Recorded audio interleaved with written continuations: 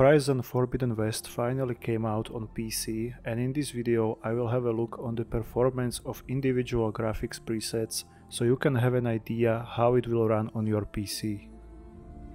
Everything you are about to see is recorded with Ryzen 5800X and RTX 3070 on 1440p resolution and with DLSS quality.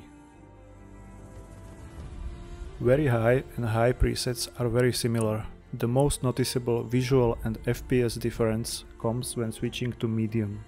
Low and very low presets looks terrible, but at least it will allow people with old PCs to have reasonable FPS.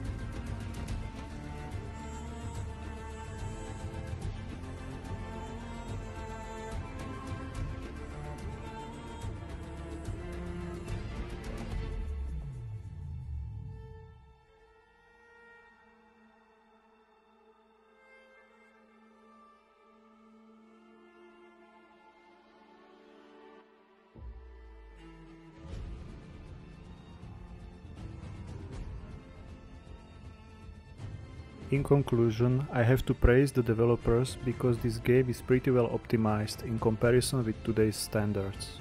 However, if your PC struggles with FPS anyway, I recommend lowering level of detail to medium. It is by far the most demanding setting. Also, if you have only 8GB of VRAM on your GPU, set texture resolution to high, because very high will cause FPS drops and popping. Thank you for watching and have a lot of fun with this beautiful game.